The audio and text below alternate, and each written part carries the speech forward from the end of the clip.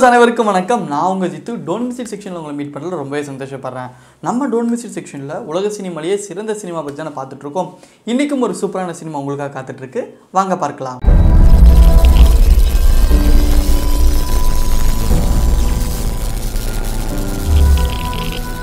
Tone mist செக்ஷனில் இன்றைக்கி நாம் பார்க்கக்கூடிய படம் தி டே ஐ பிகம் அ உமன் அப்படின்ற ஒரு படத்தை பற்றி தான் பார்க்க போகிறோம் இந்த படம் இரண்டாயிரத்தில் ரிலீஸ் ஆயிருக்கு. இந்த படத்தை மெர்ஷியா மேஸ்கின் என்ற டைரக்டர் வந்து இயக்கியிருக்காங்க இந்த படத்தை பற்றி சொல்கிறதுக்கு முன்னாடி ஒரு இன்ட்ரோ சொல்லலான் இருக்கேன். என்னென்னா பொதுவே பெண்கள் பார்த்திங்க அப்படின்னா ஒரு ஒரு ஒரு வட்டத்துக்குள்ளேயே இருப்பாங்க.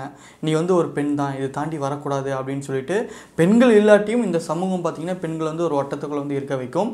ஸோ அப்படி இருக்கிற ஒரு காலகட்டத்தில் இந்த படம் எடுக்கப்பட்ட ஒரு படமாக தான் இது இருக்குது இந்த படத்தில் பார்த்தீங்க அப்படின்னா ஒரு சின்ன ஒரு பெண் ஒரு இளம் பெண் ஒரு வயதான ஒரு பாட்டி. இவங்க மூணு பேர்த்து வாழ்க்கையிலையும் ஒரே நாளில் ஒரு சம்பவம் நடக்குது. அந்த சம்பவம் எப்படி அவங்க வாழ்க்கையில் மாற்றுது அப்படின்றது தான் இந்த படத்தோடைய ஒரு கதை. இப்போது இந்த கதையில் ஒரு சின்ன பெண் இருந்தால அவளோட கதைக்குள்ளே போகலாம் அவளோட பேர் வந்து ஹவா. ஹவான்றது ஒரு சின்ன ஒரு பெண். அவள் வந்து இன்னும் ஏஜ் கூட அட்டன் பண்ணாத ஒரு பெண் தான். ஸோ அவள் பார்த்திங்கன்னா ஈரானில் ஒரு முக்கியமான விஷயம் என்னென்னா ஒன்பது வயதானவனையுமே பார்த்திங்க அப்படின்னா அவள் வந்து பெரிய பெண் அப்படின்னு சொல்லிட்டு அவளுக்கு வந்து ஃபர்தர்லாம் கொடுத்துட்டு அதுலேயே ஒரு வட்டத்துக்குள்ளே இருக்க வைக்கிறது தான் அவங்களுடைய ஒரு அந்த நாட்டோடைய ஒரு ரூல் ஹவாவுக்கு வந்து பார்த்திங்க அப்படின்னா ஒன்பது வயது ஆகிடுச்சு அவளோட ஃப்ரெண்டு பார்த்திங்கன்னா ஹசன் ஒருத்த ஒரு பையன் இருக்கான். பொதுவே பார்த்திங்கன்னா சின்ன வயசாக இருக்கும்போது நிறைய பேர் விளாடுவோம்ல அப்படி ஹசன் அவன் வீட்டுக்கு வரான் அவங்க அம்மா வந்து சொல்கிறாங்க ஹசன் இனிமேல் நீ இங்கே வீட்டுக்கு வரக்கூடாது. அவள் வந்து பெரிய பொண்ணாயிட்டா இனிமேல் நீங்கள் நீ அவளோட விளையாடக்கூடாது.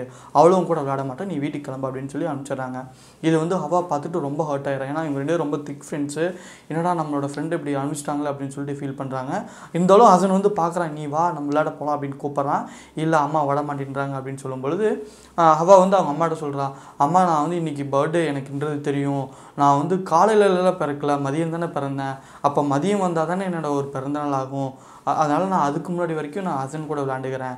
இதுவே என்னோட கடைசியான ஒரு விளையாட்டாக இருக்கட்டும் நீங்கள் சொல்கிற மாதிரி அப்படின்னு சொல்லிட்டு அவன் வந்து கேட்குறா அவங்க பாட்டியும் பார்த்தீங்க அப்படின்னா சரி ஓகே நீ எது இருந்தாலும் ஒரு ரீசனாக தான் சொல்கிற ஏற்றுக்கலாம் இதுவே கடைசியாக இருக்கணும் இதுக்கப்புறம் போகக்கூடாது அப்படின்னு சொல்லிட்டு நீ கரெக்டாக பன்னெண்டு மணி ஆனால் வீட்டுக்கு வந்துடணும் வரலன்னா கடவுள் உன்னை வந்து மன்னிக்கவே மாட்டார் அப்படின்ற விஷயத்த சொல்கிறாங்க சரி நான் வந்து கையில் வாட்ச் கொண்டு போயிட்டே இருக்கேன். நான் கொண்டு போயிட்டு அங்கே பார்த்துட்டே இருப்பேன். என்ன டைம் என்ன டைம் அப்படின்ற போது பாட்டி சொல்கிறாங்க நீ வாட்ச் கொண்டு போவேனா வாட்ச் இல்லாமல் உனக்கு டைம் எப்படி பார்க்குறதுன்னு நான் சொல்லி கொடுக்குறேன்னு சொல்லிட்டு ஒரு குச்சி தராங்க. அந்த குச்சியை வந்து நீ வந்து நிலத்தில் நிலத்துல வந்து ஊனிட்டு நீ வந்து மேலே பார்க்கணும் சூரியன் எந்த இடத்துல இருக்காங்கன்னு சொல்லிட்டு. நீ அதே சமயத்தில் தரையில் பார்த்த அப்படின்னா குச்சியோட நிழல் விழுந்தது அப்படின்னா கண்டிப்பாக வந்து அது காலை பொழுது தான் ஒருவேளை குச்சியோட நிழல் வந்து விழுகாமல் கம்மியாயிட்டே வந்துட்டு இருந்தது அப்படின்னா கண்டிப்பாக அது மதியமாகுது உச்சி வெயிலாக இருக்குது அதுக்குள்ளே நீ வீட்டுக்கு வந்துடணும் அர்த்தம் அப்படின்னு சொல்லிட்டு பாட்டி அனுப்பிச்சு வைக்கிறாங்க. உடனே ஹவாவும் ஜாலியாக அங்கே வெளியே கிளம்புறா ஹசன் வீட்டுக்கு. ஹசன் வீட்டுக்கு போனோன்னு பார்த்தீங்க அப்படின்னா ஒரு சின்ன ஒரு இது. ஹசன் வந்து வீட்டு படம் எதுவுமே செய்ய மாட்டேன்னு சொல்லிட்டு அவங்க அக்கா என்ன பண்ணுறாங்க அப்படின்னா நீ வெளியே சுற்றிட்டே இருக்க அப்படின்னு சொல்லிட்டு உள்ளே வச்சு அவனை லாக் பண்ணிவிட்டு அப்படியே அவங்க வெளியே போயிடுறாங்க. இப்போ ஹசனும் வெளியே வர முடியல அவாவும் விளையாடலான்னு போகும்போது அவனால விளையாட முடியல. என்னடா உழுக்கில் மாட்டிட்டே வாடா சீக்கிரம் விளையாடலான்னு? இல்லை நான் ஹோம்ஒர்க் பண்ணினோம் அது பண்ணாமல் எங்கள் அக்கா விட மாட்டாங்க. நான் ஹோம்ஒர்க் பண்ணிவிட்டு நான் வந்துடுறேன். நீ என்ன பண்ணுன்னா பீச் கிட்ட நம்ம எப்பவும் விளையாடுவோம்ல அங்கே அந்த இடத்துல போய் வெயிட் பண்ண அப்படின்னு சொன்னியும் ஓகே நான் போய் வெயிட் பண்ணுறேன்னு சொல்லிட்டு அவள் என்ன பண்ணுறேன்னா அந்த இடத்துல குச்சி ஊனிடுறா. ஓகே நிழல் குறையும் குறையும் அப்படின்னு சொல்லி பார்த்துட்டே இருக்கா. அவள் அதுக்கான அளவை வந்து பார்த்துட்டே இருக்கா. இன்னும் இவ்வளோ நேரம் இருந்ததுன்னா உச்சி வெயிலாயிடும் நம்ம கிளம்பிடணும் அப்படின்னு சொல்லிட்டு அதுக்கு பிளான் பண்ணிகிட்டு இருக்கா. இவள் வெயிட் பண்ணி பார்க்குறா ஹசன் வரவே இல்லை. லாக் பண்ணது இன்னும் அவங்க அக்கா போய் லேட் ஆகிடுச்சு என்னமோ அவங்க வரவே இல்லைன்றனால உடனே திரும்பி வரா. அதை நான் சொன்னேன்ல நான் இதுக்குள்ளே போகணுன்னு சொல்லிட்டு நான் போகணும் வா அப்படின்னும். சரி என்ன பண்ணுன்னு தெரியாமல் அவன் பாக்கெட்டில் இருந்த பைசாவை எடுத்து நம்ம எப்பவும் வாங்கி சாப்பிடுவோம் லாலிபாப் அதுவும் புளிஜாவும் போய் வாங்கிட்டு வா அப்படின்னு சொல்லி சொல்கிறான் இவங்க ரெண்டு பேர் போய் வாங்கிட்டு வந்துடுறாங்க. வாங்கிட்டு வந்துட்டு பார்த்தீங்கன்னா சாப்பிட்ருக்காங்க மாற்றி மாற்றி ஷேர் பண்ணி சாப்பிட்ருக்காங்க உடனே பார்த்தீங்க அப்படின்னா அந்த உச்சி வெயில் ஆன அந்த குச்சியில் நிழல் வந்து மறையுது. உச்சி வெயில் வந்துட்டனால அவங்க அம்மா வந்து உடனே வந்துடுறாங்க அந்த ஃபர்தாவில் எடுத்துகிட்டு இன்னும் நான் கடவுள் மன்னிக்க மாட்டேன்னு சொன்னேன்ல நீ என்ன பண்ணிட்டு இருக்க வா வீட்டுக்கு சீக்கிரமாக போகலாம் அப்படின்னு சொல்லிட்டு அவங்க அம்மா கூட்டிகிட்டு போகிறாங்க அவங்க அம்மா கூட்டிகிட்டு போகும்போது அவள் வந்து ரொம்ப ஏக்கத்தோட பார்க்குறா இதுதான் நம்மளுடைய கடைசி இது. நம்ம சரியாக என்ஜாய் பண்ணலையே நம்ம விளையாடலையே அப்படின்னு சொல்லி ஏக்கத்தோட வீட்டுக்கு போகிறா இதோட அவளுடைய காட்சி முடியுது. அடுத்த காட்சி அந்த இளம்பெண் இருக்குன்னு சொன்னால அவளோட காட்சிக்குள்ள வரோம். அதே நாள் அஹு அப்படின்ற ஒரு பெண்ணோட வாழ்க்கையில் மாற்றத்தை ஏற்படுத்துது. அந்த பெண் பார்த்திங்கன்னா ஒரு இளம் பெண் தான். ஒரு வயது வந்த ஒரு இளம் பெண். அவளுக்கு வந்து மேரேஜ் ஆகிடுச்சு அவள் வந்து என்ன பண்ணுறா அப்படின்னா சைக்கிள் ரேஸில் வந்து கலந்துட்டு போயிட்டுருக்கிறா சல்லுன்னு எல்லாத்தோட போட்டி போட்டுட்டு போயிட்டுருக்கா அந்த சமயத்தில் ஒரு குதிரை வருது. குதிரையில் பார்த்தீங்கன்னா அவளுடைய ஹஸ்பண்ட் வந்து மட்டிட்டு வந்துட்டுருக்காரு அஹு நீ நிற்க போறியா இல்லையா? எங்கே இருக்க நீ? நில்லு. நான் வந்து உன்னை சொன்னேன்ல இந்த மாதிரி ரேஸுக்கெலாம் போகக்கூடாது அப்படின்னு கல்யாணம் ஆயிடுச்சு அப்படின்னா வீட்டுக்குள்ளே மட்டும்தான் இருக்கணும். மற்றவங்களோடலாம் வந்து வெளியே சுற்றக்கூடாது அப்படின்னு சொல்லிட்டு அகவும் திட்டுறாங்க. கூட சைக்கிளில் ஓட்ட பண்ணுறவங்களும் திட்டுறாங்க. இங்கே யார் யாரெல்லாம் இருக்கீங்க? கல்யாணம் பண்ணவங்கலாம் யாருமே வந்து என்ன நல்ல குடும்பத்துலேருந்து வரல அப்படின்னு ஆச்சா ஓச்சன்னு திட்ட ஆரம்பிச்சாரு. உடனே அகு வந்து நீ நிற்கணும் அப்படின்னு சொல்லும்போது அகும் அது நிற்கவே இல்லை. அவள் பாட்டுக்கு சைக்கிள் நாம் ஜெயிக்கணும் அப்படின்னு சொல்லிட்டு முன்னாடி ஓட்டிகிட்டே இருக்கிறா. அவன் வந்து அவ- அவன் ஹஸ்பண்ட் வந்து திட்டிகிட்டே இருக்கான். நீ நிற்கல இந்த முடிவு கடைசியோட முடிவாக இருக்கும். நான் வந்து உன்னை டிவோர்ஸ் பண்ணிவிடும் அப்படின்னு சொல்லும்போதும் இவன் நிற்கவே இல்லை. நான் வந்து ஜெயிக்கணும். என் வாழ்க்கையில் ஏதாவது பண்ணணும் அப்படின்னு சொல்லிட்டு அவள் போயிட்டே இருக்கா. உடனே என்னென்னா க- அகுவோட ஹஸ்பண்ட் வந்து போயிட்டு இன்னொரு இன்னொருத்தர் கூட்டிகிட்டு வராரு அவர் வந்து வந்துன்னா அவர் தான் வந்து ஜட்ஜ் மாதிரி. ஸோ வந்து நான் வந்து உனக்கு டிவைஸ் கொடுக்குறேன். இது வந்து நீங்கள் ஏற்றுக்குங்க அப்படின்னு அவர் முன்னாடியே சொல்கிற மாதிரி இனிமேல் இவளுக்கு எனக்கு சம்மந்தம் இல்லை அப்படின்னு அந்த சைக்கிள் ட்ராவல்லே வந்து சொல்லிட்டு அம்பாட்டுக்கு போயிடறான். இனிமேல் என் மூஞ்சியில் முடிக்காத நீ யாரோ நான் யாரோன்னு சொன்னோன்னே அவளால் வந்து அந்த விஷயத்தை தாங்கிக்க முடியல. இருந்தாலும் நம்ம இவ்வளோ விஷயம் நம்ம ஆகுது காரணம் என்னென்னா நம்ம இந்த மாதிரி ஓடக்கூடாதுன்னா நான் கண்டிப்பாக நான் சைக்கிள் வந்து ஓட்டுவேன் நான் ஜெயிப்பேன் அப்படின்னு சொல்லிட்டு அவள் முன்னாடி போயிட்டே இருக்கா.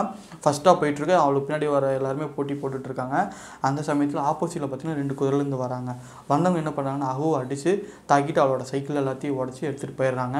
நீ வந்து இனிமேல் நீ வந்து உன் வீட்டுக்கு போகணும் இனிமேல் உன் சுதந்திரத்தை நாங்கள் பறிச்சிருவோம் அப்படின்னு ஒரு விஷயத்த வந்து சொல்லிட்டு போயிடுறாங்க. இதோட அவங்களோட ஒரு காட்சி அமைப்பு முடியுது. போயிட்டு இருக்கும்போது பார்த்தீங்க அப்படின்னா மூணாவது கதை ரிவீல் ஆகுது.